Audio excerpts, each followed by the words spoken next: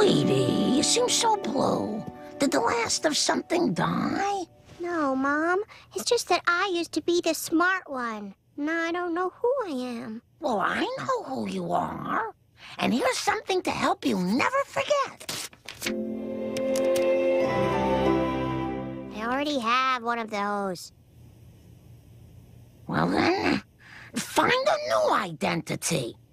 Hmm. Your mother's right, honey. Katie Couric didn't just become the world's most famous dwarf. She escaped from the circus and went for it. All right. If I'm second rate as the smart kid, I'll find a new raison d'etre. That still sounds like the smart kid. Right, right.